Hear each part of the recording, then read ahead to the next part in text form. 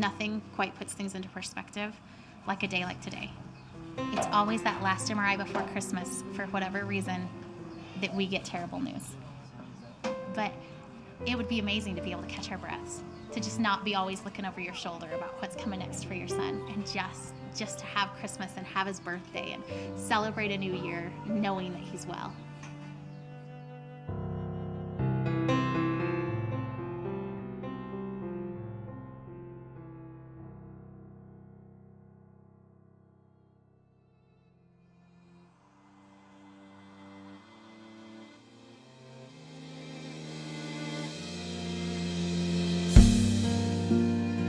Joel has needs we never expected to have to meet as parents. No one thinks they will have a child that needs that much attention. And then we have Elijah, who's younger but who is caught up and has the exact needs Joel has. And then we have the two older sons. And I'm absolutely overwhelmed right now. I am in over my head and I totally know it. And yet, in those moments where it's so overwhelming and where you have to have so much patience I usually just remember I could have three kids now instead of four, and I don't want that. I love that Joel's here, and it's so hard, and there's so much he needs, and I've never been more overwhelmed in my life, and it's so worth it, and it's so wonderful, and it's not gonna be like this forever. The kids grow up, and they grow up quickly, and they need us less, and it's just not the worst thing in the world to be needed. There's days it feels like it.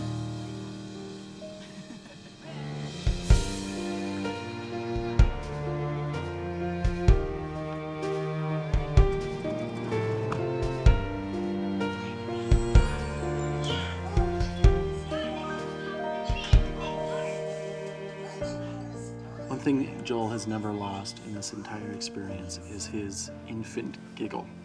You know, and when a one year old laughs, it's the most. Uh, I don't know. I don't think there's anything in this world that, that brings joy to your heart faster.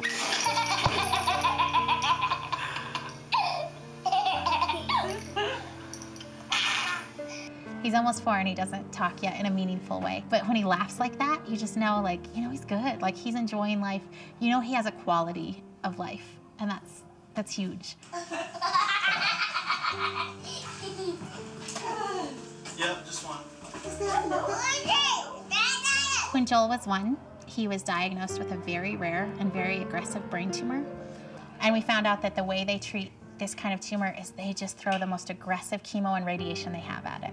They just, they give it everything they have.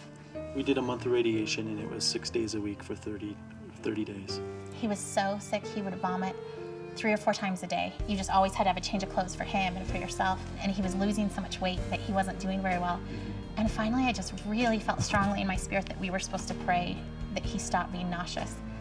And we did that, and he stopped being nauseous. He never threw up on chemo again. So that was a really tough period. And, Mhm. and coming out, you know, 10 months, he started to do better and he was starting to thrive and he was starting to be more like Joel. They do MRIs every two months throughout his chemo, throughout his radiation. Um, they'd always been clear. At 10 months, he gets an MRI, and they tell us the tumor's back. And they said, I'm so sorry. This is We- devastating. He said, This is a tragedy. Yeah. He said, We've already given him all the chemo we can give him. There's nothing new we can try. We've tried the most aggressive things, and it's failed. They told us that he had anywhere from two weeks to about four months to live. They had us sign a do not resuscitate right there in the office, and they called hospice for us because they knew it was spreading already and it was spreading quickly. But his very next MRI, which was three months later, two of his two of his tumors were gone, and the other one was shrinking. And that's the last we've seen any tumors. That was a year ago in October. Um, we've been off of all chemo, all radiation, all kind of cancer treatment for six months now, and everything's been clear. Weird because every three months we have this day where we're driving to the hospital and life as we know it, like entirely, can totally change in the next six hours. Like, we know that today we go there and the doctors can tell us today that he's dying, you know, or they could tell us today that everything looks good.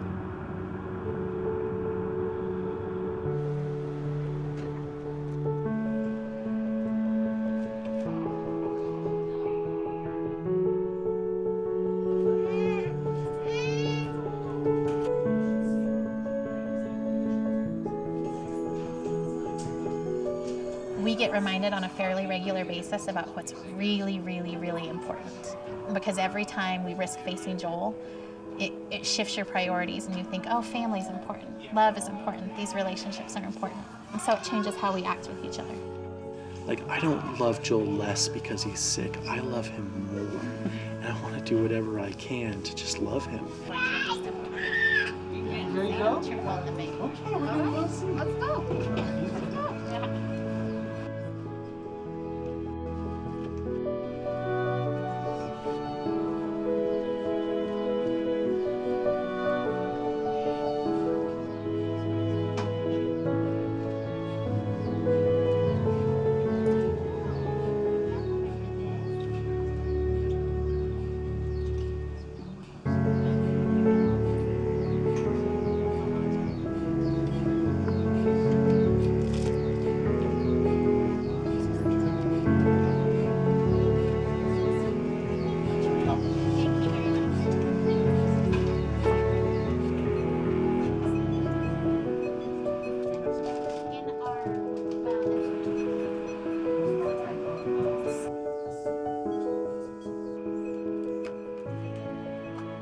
Two different points, we were told that Joel's death was imminent, and yet he's here.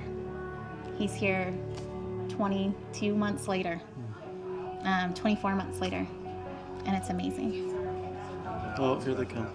Um, so our team is Holy coming up, and they have our they have our report from today's MRI.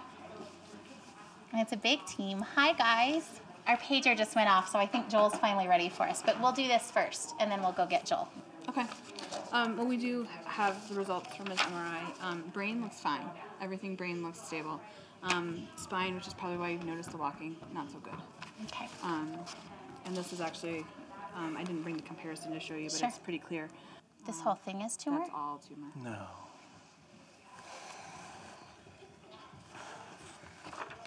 Okay. Oh, my precious. I think, you know, at this point, Joel's sort of outside of normal Uh-huh. for this tumor and pretty much for any. Uh-huh. So I think trying to go out there on a limb and And say what the next two months I, are going to be. I just, I, I, you know, I just don't know what we know. Okay.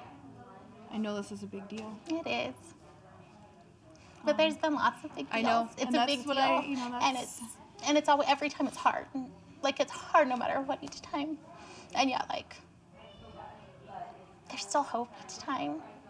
Like God's been so good to us each time. Like unspeakably good. Like we talked about we sat here two years ago and we weren't sure he'd make it to his birthday. And I thought, can you believe we're here? Like, can you believe we're here? And even this, So I think there's a lot of things that you guys are gonna have to sort of talk about and think about, you know, in the, in the next week.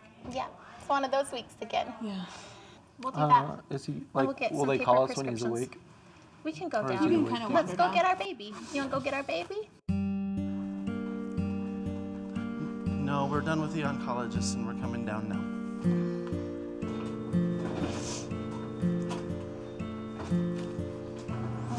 God, I just thank you for Joel. And I thank you for his life. And I thank you that you have been the sustainer of his life. And God, we just place him in your hands right now. And we say, You, you be his God. You rescue him. In Jesus' name. Amen. You have to pray in the elevator because you can't just pray in the hallways. You'd be crazy. That's true.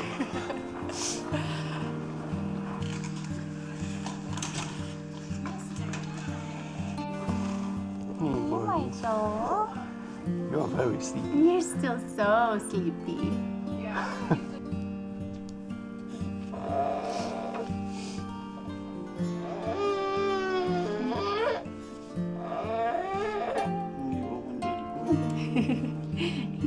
doesn't want to share you. Thirsty. He slept hard. Yeah, water. That's right.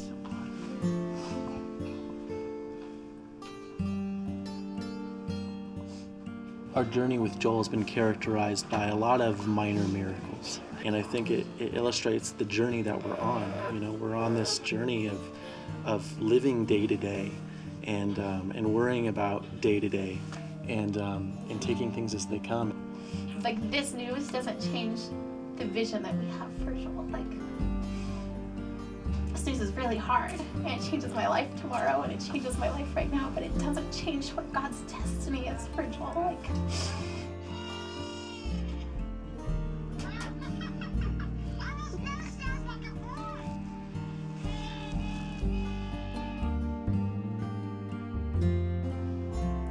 we've learned pretty quickly that like there's grace for today.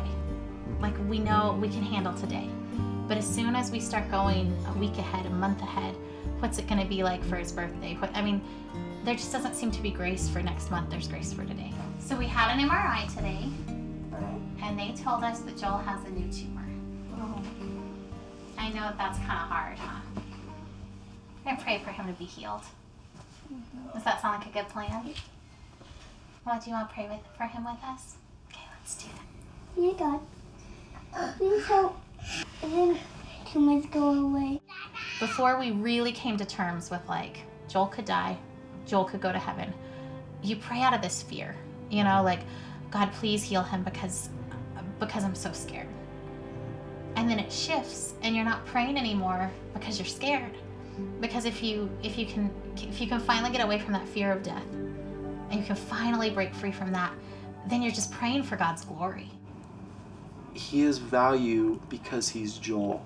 He has value because of the love of like of me being able to hold him, you know, and of that connection that we can have that only we can have.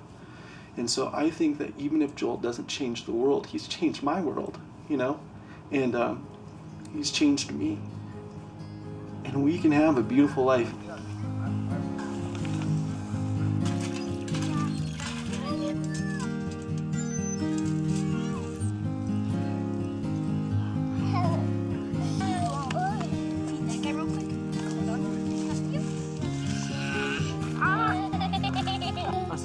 thinking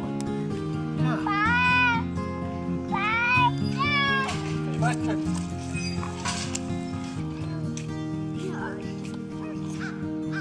Wanna go play?